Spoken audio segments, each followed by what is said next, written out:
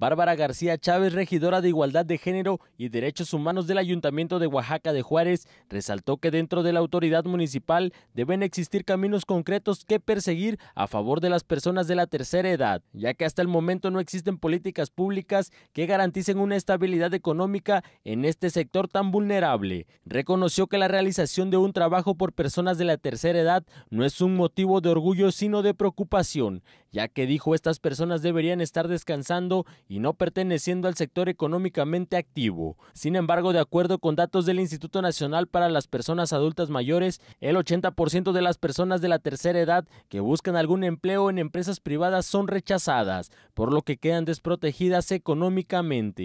Debe haber caminos concretos que seguir y los caminos concretos que seguir tiene que ver con una vida, con una vida eh, plena en el sentido de una de una garantía económica de vida. ¿sí?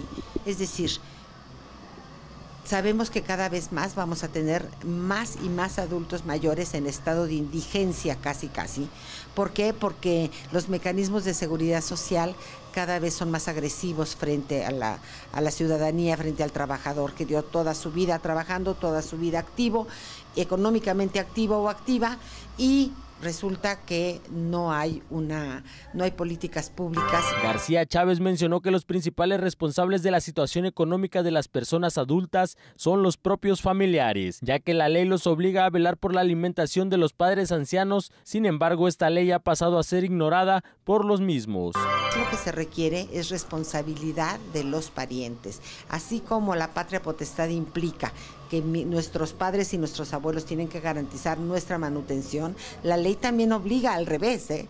Lo que pasa es que no lo hacemos cumplir. También nos obliga a los hijos, a los nietos, nietas, a garantizar el bienestar y la manutención de nuestros padres y abuelos. Con imágenes de Azarel Guevara, para MBM Televisión, Rafael Ventura.